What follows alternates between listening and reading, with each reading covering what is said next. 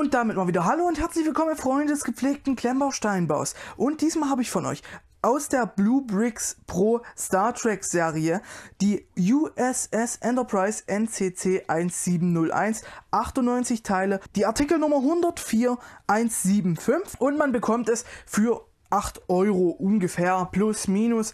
Mit Versand muss man natürlich dann immer noch mal ein bisschen was draufrechnen. Auf Amazon kostet es momentan 14 Euro. Man hat natürlich keine Versandkasten dann dazu. Ich glaube, wir können aber festhalten, man bezahlt hier so und so ein bisschen die Lizenz auf jeden Fall mit. Aber wir rollen das Ganze mal von hinten auf. Weil ich habe mir das Set eigentlich als kleinen privaten Happen gekauft und eine Review dazu war überhaupt nicht geplant.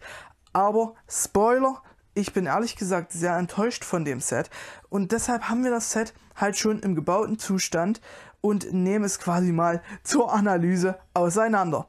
Aber wenn wir uns nochmal die Box anschauen, sehen wir auf jeden Fall eine schön gestaltete Box. Das Boxdesign wird ja zu großen Teilen vom Star Trek Franchise vorgegeben, aber es gefällt mir auf jeden Fall sehr gut.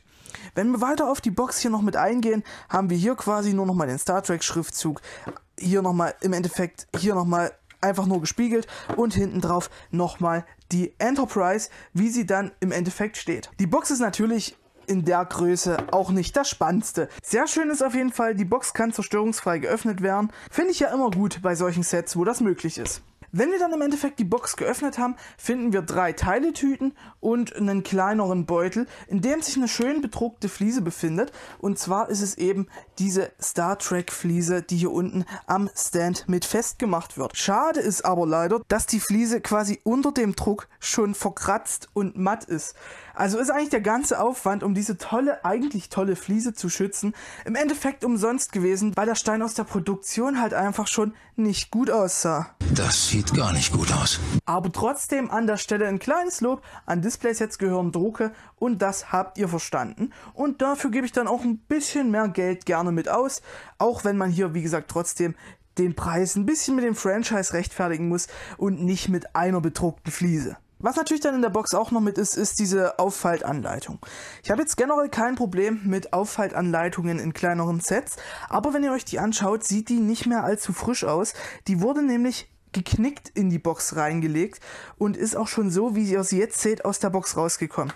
Das ist natürlich schade, weil man hat natürlich bei einem Preis, der schon ein bisschen höher ist für die Teileanzahl, gewisse Erwartungen, die an der Stelle schon ein bisschen enttäuscht werden. Zu den Erwartungen gehört auch einfach, dass das Set vollständig ist, gerade bei 98 Teilen, die nur drin sein sollen.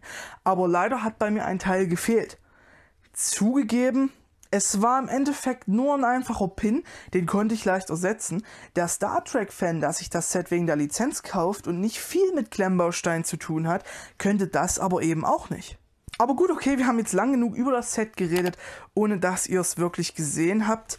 Aber wenn ihr das jetzt so seht, ist das natürlich auch nicht unbedingt beeindruckend.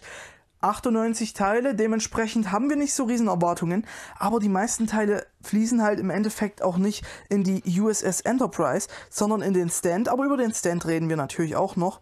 Und wir haben auch an der USS Enterprise so ein paar Sachen, die zu wünschen übrig lassen. Eine von diesen Sachen sind die Warp-Gondeln. Das Problem ist, die sind hier super wackelig dran mit nur einer C-Clam.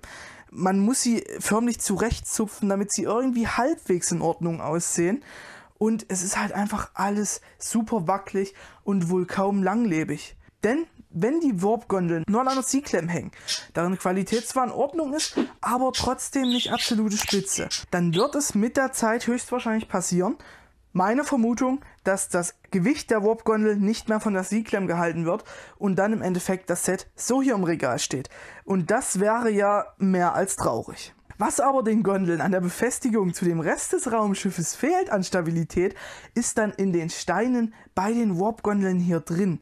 Denn da sind Steine drin, die nie, nie wieder getrennt werden können. Ich muss euch das mal in der Anleitung zeigen. Im Endeffekt müssen wir für beide Warp-Gondeln einmal auf diese Achsaufnahme diese drei Steine hier schieben. Das sieht so einfach in der Anleitung aus und wäre es mit anderen Steinen sicherlich auch gewesen. Aber die Steine, die hier verbaut sind, sind so fest, dass ich fast ausgestiegen wäre. Ich musste im Endeffekt echte Zange nutzen, um das drauf zu kriegen. Und das hat einen sehr, sehr großen Frustfaktor für den Rest des Sets hinterlassen. Die Untertassensektion ist natürlich sehr trivial, aber im Endeffekt dem Maßstab entsprechend. Ich persönlich hätte mir hier vielleicht noch ein paar Prints gewünscht. Der Preis hätte meiner Meinung nach den Spielraum dazu gelassen. Aber wir haben hier ein anderes, viel, viel wichtigeres Problem. Denn die Klemmkraft der Steine ist hier so lala. Und dafür hängen mir an dieser Verbindung hier viel zu viele Steine an zu wenigen Noppen, wo ich dann mir wirklich Sorgen mache, ob das länger hält. Das Ganze mit besseren Steinen zu bauen, mit einer besseren Klemmkraft, hätte hier schon sehr viel ausgemacht. Aber kommen wir jetzt mal zum wirklichen Highlight des Sets. Und das ist halt nicht dieses Raumschiff hier. Das hat zu viele Fehler und ich bin kein Riesenfan davon, muss ich ganz ehrlich sagen. Das eigentliche Highlight des Sets ist wirklich der Stand. Dort ist wirklich viel Liebe reingeflossen und das merkt man. Wir bauen hier halt so einen kleinen Communicator im Endeffekt und das Ganze gefällt mir sehr gut. Und hier reicht auch für diese Bautechnik die Teilequalität noch ganz gut aus. Die Teile sind zwar trotzdem sehr locker, wenn man sie untereinander klemmt, aber dann in diesem ganzen Gebilde ist es schon in Ordnung. Auch den Druck der Fliese finde ich wie gesagt sehr schön. Schade sind nur die Kratzer. Also man muss sagen, das Set hat Höhen und Tiefen, aber meiner Meinung nach ist es für diesen Preis auf diese Anzahl viel zu wenig. Es hat zu viele Tiefen und eben zu viele gravierende Fehler und deshalb kann ich euch das Set leider nicht empfehlen. Ich hoffe wirklich inständig, dass die größeren Sets aus der Blue Brick Star Trek Reihe dort besser sind. Ich habe mir noch nicht viel dazu angeschaut, ich habe es selber noch nicht gebaut. Deshalb möchte ich dazu nicht allzu viel sagen. Ich hoffe wirklich inständig, dass ich euch diese Sets in Zukunft empfehlen kann. Dieses kann ich euch auf jeden Fall leider nicht empfehlen. Wenn ihr natürlich dieses Set selber besitzt, dann schreibt gerne mal eure Meinung dazu in die Kommentare. Würde mich wie immer sehr interessieren. Und natürlich könnt ihr auch für diese Review gerne einen Daumen nach oben da lassen, wenn sie euch trotzdem gefallen hat, auch wenn es ein bisschen spontan war. Und ihr könnt auch gerne ein Abo da lassen, wenn ihr nichts mehr verpassen wollt. Ich wünsche euch auf jeden Fall wie immer einen wunderschönen Tag und viel Spaß mit euren Sets. Haut rein, euer Valley Brick.